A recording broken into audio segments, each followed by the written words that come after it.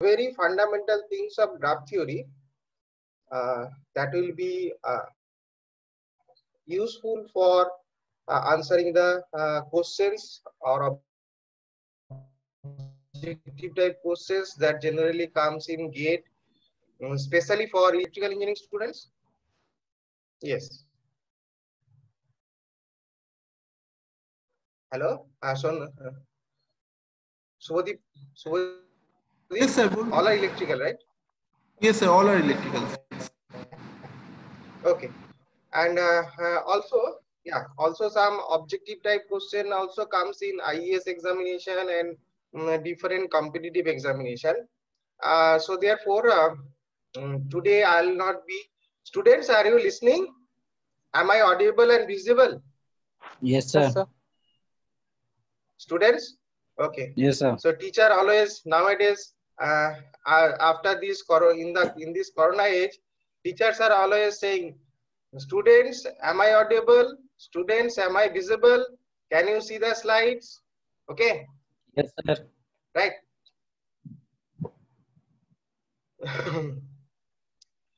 Uh, so mm, just uh, uh, listen carefully. Uh, i don't have uh, very i don't have very good slides i'm very sorry. Mm. Uh, if i could have been had a blackboard or if i have a, uh stylus i could have been represented in better way. Uh, but just uh, i'll request you uh, put a, a little bit more concentration okay? Because in online mode concentration remains maximum four to five minutes. But um, uh, i request you to put more concentration and that will help you to answer some simple questions okay? That comes from the uh, graph theory uh, especially objective type or multiple type uh, questions okay? Mm, uh, and this is for this you need not to be uh, have a very deep idea okay? Uh, so only these are the kind of uh, knowledge type or information type question. If you have the concept of graph uh, you can easily do it. Okay. Uh, so taking this in a much more interactive manner because this is an in, informative uh, class and uh, in online concentration uh, putting in concentration is difficult. Okay. And on the other hand my slides are not very good. So i am sharing the screen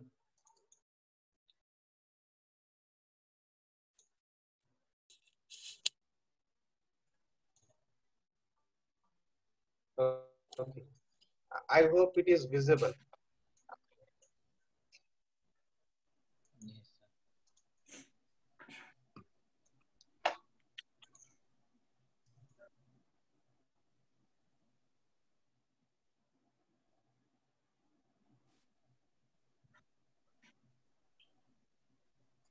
Okay. Now, uh, there are many graph theories also in computer. Uh, and especially this is uh, here the graph theory will be discussing in connection with the uh, electrical circuit. Okay. Uh, now, what we do in graph theory? First thing comes. Okay. Uh, so, in graph theory, uh, in graph theory, we uh, represent a electrical circuit by a graph okay so here you can see that this is a electrical circuit okay and this is the electrical circuit and this is the corresponding graph okay. Now now here you can see that in electrical circuit source you have capacitor you can see this okay? But all these we do that okay? First question comes why we do this? So Mm, we do this, uh, we have many uh, advantages. Uh, particularly, we do this for a very complex network or a very complex circuit. Okay. Now, when your circuit or a network is a very big, okay, there are many components, okay, many loops. So then uh, it becomes uh, difficult to uh, calculate, apply the KCL, KVL, and apply them and find the solutions. Okay. So on, on those cases, we first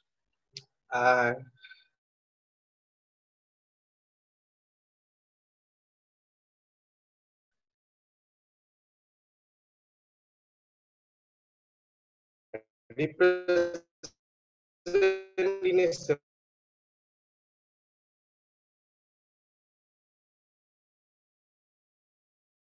simple manner in a graph okay? Then from the graph we can easily say that this is a simple circuit so i can uh, i can do it faster way method so many things okay? It has been step by step process for uh, solution. Uh, so therefore uh, you may say that but when you have a very complex network practical to solve. In those now um, uh, it is uh, also practical to say that the importance of applying graph uh, for solving a electrical circuit has been reduced. Okay um, because the we have many advanced uh, uh, computer solution computer algorithm. If you have a complex network and we can easily solve it by the circuit simulation uh, things okay? We can uh, we have matlab for solving the differential equations okay? So we have a established computer algorithm. So therefore we for for solving a circuit as a practice general people do not uh, use this graph nowadays okay? Uh, but understanding this graph is important okay? Now more some of these uh, were used for solving this graph theory okay? So in that uh, respect understanding the graph theory is also uh, important right? Now, uh, here what you can see that you have a uh, circuit, okay, and then uh, the circuit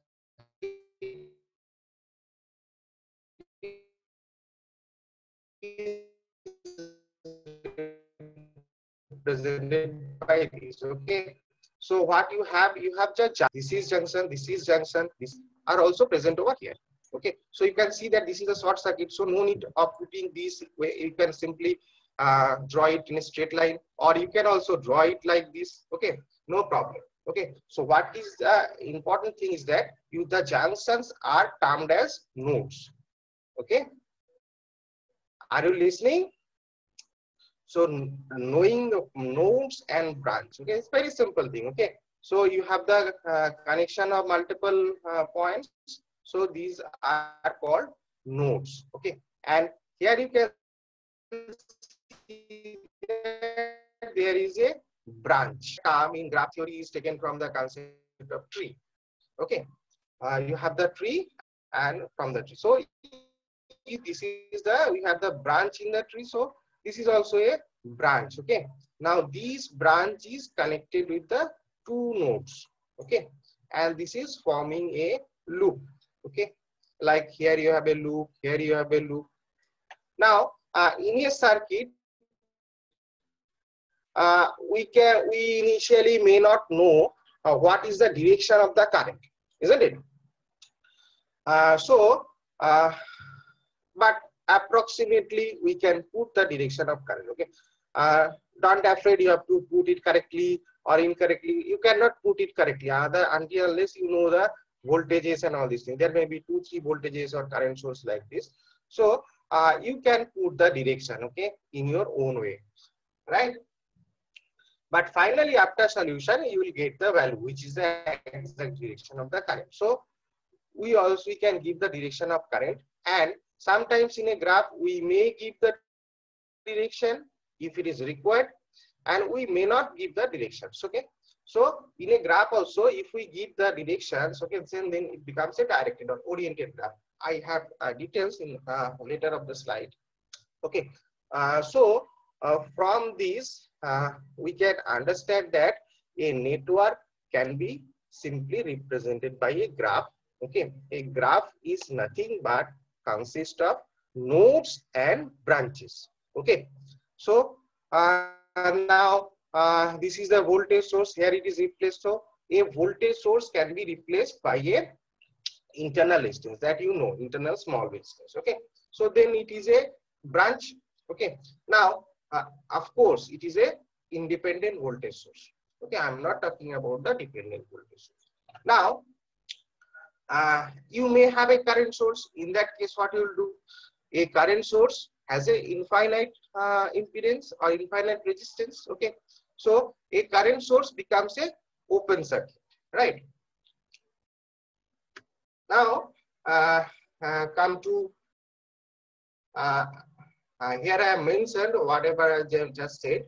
Okay, so graph is nothing but a, graphical representation of electric circuit. Okay, that we are representing in a graphical way. Now, uh, why we use it? It is useful for analyzing complex electronic circuit. Now, you may say that uh, whether can't we do it simple? Yes, uh, if you can do a complex electrical circuit or electronic circuit, of course you can do it simple, but uh, the steps you have to follow for solving the circuit using graph theory is uh, a little bit more rigorous uh, than the steps in a mm, we solve by the KCL or KVL. So therefore, of course, for a simple circuit, we won't be going for the graph theory. Okay. And uh, uh, in the graph theory, it is easier to find number of independent equations. Okay. Uh, so uh, sometimes in uh, question comes la how many hmm, KCL or how many KVL equation can be formed. Okay, they will give a graph and how many KCL or KVL equation can. So from here we can easily found find how many independent equations can be formed. We can easily also calculate the what are the natural frequencies and we also can calculate the system functions. Okay, so uh, these are the uh, main use of the graph theory. Okay. Uh, now I have already said uh, each circuit component is replaced by a line segment. Okay. Now earlier I have shown that you have a circuit component. Uh, so these are the L, R, and C. These are the circuit components. So these components I have replaced by a straight line. Okay. I have not mentioned anything on the straight line. I have just replaced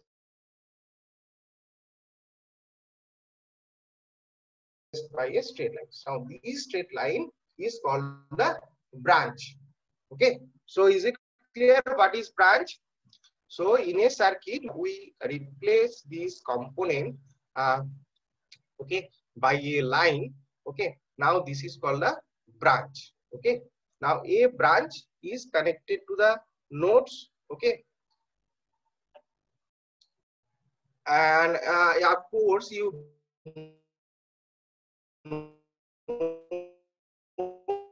this uh, what is circuit and what is network okay? Many uh, passive sources like uh, resistance inductance capacitance and active sources like voltage source or current source okay? Now again voltage and current source can be dependent voltage source independent voltage source okay? Now uh, in a linear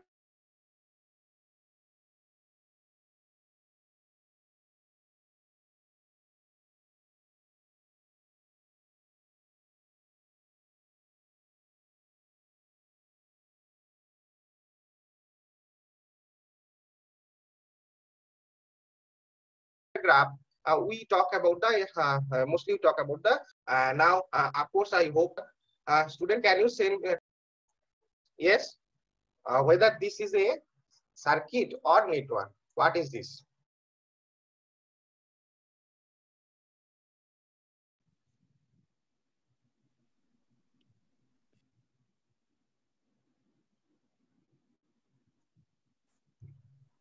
And what is the difference between Yes, anyone? This uh, you may feel disturbed. I'm asking question, but uh, this is very useful because many has already diverted.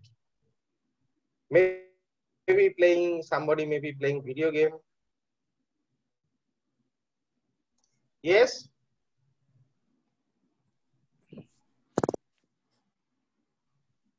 Use Piyush, yesterday you give given Sir. uh, The network connection is very slow, so I didn't hear you clearly.